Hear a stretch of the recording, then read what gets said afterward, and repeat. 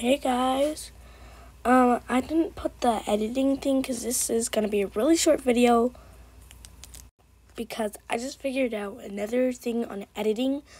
So, um, this is like one of the things that you could do that's a part of my other like editing video. So, um, um, I just went to my room, then I told my my Alexa. Stop. To play um, some non-copyright music. And then she did. And then I filmed it on clips. And yeah so just music. Hope that hope on editing. Bye. Thanks for watching guys. See you in the next one